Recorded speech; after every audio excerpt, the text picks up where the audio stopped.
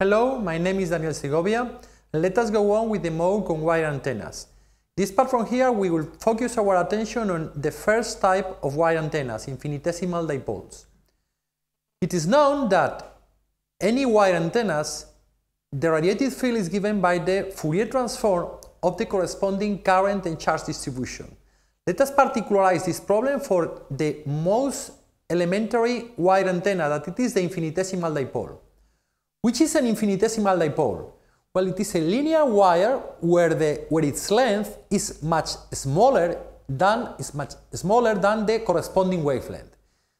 In order for simplicity, we will position this infinitesimal dipole symmetrical at the origin and the system will be oriented along the z-axis. This is only for simplicity.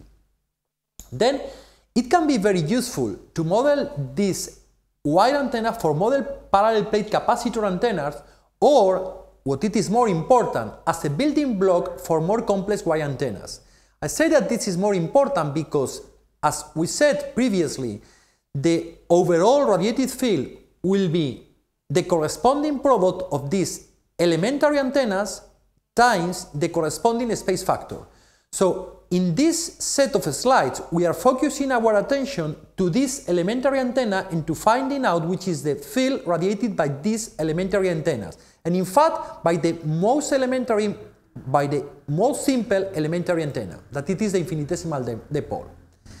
In this infinitesimal dipole, the current will be assumed constant as we are having a very small source. The current will be constant and will be given by and will be given by this expression from here. Remain, remember that we are calling the prime terms when we are denoting sources. So the corresponding current will be directed along the z-axis times I0, where I0 is a constant. Which kinds of antennas can be these ones? Well, most antennas at frequency lower than 1 MHz behaves as infinitesimal dipoles. So the procedure is exactly the same. I, it has been explained in these previous MOOCs on wire antennas. And the first step will be to find out which is the vector potential. The vector potential will be the 3D, 3D integral of the corresponding charge density, charge current density. But at this, very, at this problem from here, as we are having a very small, a very elementary dipole antenna directed along the z-axis, we can substitute the 3D integral by a 1D integral along the z-axis between minus L over 2 and plus L over 2. In the fact that we are having that the uh, vector magnetic potential is given by this expression from here. Well, if I take into account that the Capital R vector position is given by the difference between any source coordinate and any observation coordinate. And if I remind that the source coordinate is 0, it happens that the capital R position is equal to the minus R position. So in this way, I can have that the corresponding magnetic vector potential is given by this expression from here mu times the corresponding current distribution times multiply by the corresponding spherical wave dependence times L being L the corresponding length of the infinitesimal dipole. And this vector will be placed in the z position. At this point, it is very important to call your attention about the fact that one thing are the sources and another thing is the radiated fields. At this point it's important to say that in order to have the radiated fields, for us it is essential to change between the corresponding coordinate system for the sources to the radiated system for the radiated fields. In this case, the radiated coordinates, the, the coordinates for the radiating system will be the spherical ones. And the first point is to denote which is the spherical transformation between the corresponding Cartesian coordinate system that it is given at this very same point to the corresponding spherical system. And if we particularize for the problem we are having, where we are only having one coordinate in the z axis, it happens that the overall vector potential in the spherical coordinate is given by this expression from here. And also, later on, we can take the corresponding curl of the vector potential in order to obtain the magnetic radiated field and the corresponding curl of the magnetic field in order to obtain the corresponding electric radiated field, radiated electric field. So let us particularize for the infinitesimal dipole. If I particularize for the infinitesimal dipole, I have that the magnetic, magnetic field produced by a current is given by this expression from here. When you take into account this expression from here, you can have that you have some terms that are related, that are proportional to the inverse of the square of r, square of r given by this r from here and this r from here, these terms from here are near field components, or what I call in the modes in the mode concerning the vector potential, these are the near field components that are a delay version of the Biot and Savart law.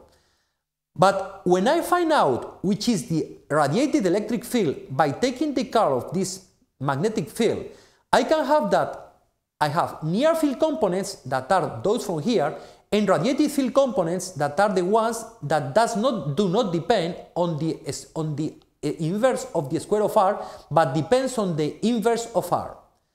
So if I remove the near field versions, I can have that the radiated fields are given by this expression from here, where you can have the spherical wave contribution for the H field uh, for the H field and the spherical field contribution for the corresponding electric field. It's also important to note that the magnetic field is directed towards the phi direction and the electric field is directed towards the theta, the meridional uh, theta direction. If I, if I make a sketch of which is the radiation pattern and the polarization of the corresponding electric and magnetic field, I have that the electric field, according to the previous expressions, have a sine theta distribution, so this will be the radiation pattern. You will have that the radiation pattern is a sine theta distribution and you can have the sketch in this uh, graph from here. And you can have that the polarization the polarization vec uh, vector only depends on one dimension. Phi for the magnetic field and theta for the electric field so we are really having a linear polarization of this infinitesimal dipole so you can see that for the electric field you are having a meridional theta polarization and here you have the radiation pattern.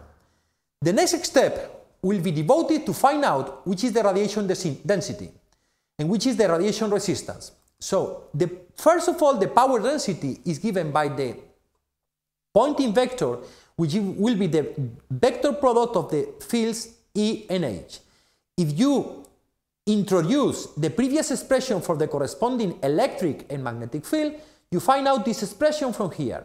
In this expression from here, you can have a term that is that depends on the r vector contribution, and you have a term that depends on theta. If you pay attention to the term that depends on r, you can see that this is a real part, since you, you don't, that has some real part that is this one from here. And when you pay attention to the term that depends on theta, you can see that this is an imaginary part. Then the real part from the previous vector is taken from this part from here, and you can see that the power propagation is due in the r direction. So the radiated power will be given by this expression from here. And this expression from here has one term that it is the radiated power and another time, term that it is due to the corresponding magnetic and electric energy, energy store. When you identify the radiated power that it is the real part of this expression from here with the corresponding square of r times the radiated resistance, you can obtain that the radiating resistance it will be given by 80 times the square of pi L over lambda. This is very important from here because it is telling you that the radiation resistance directly depends on the electrical length of the infinitesimal dipole antenna.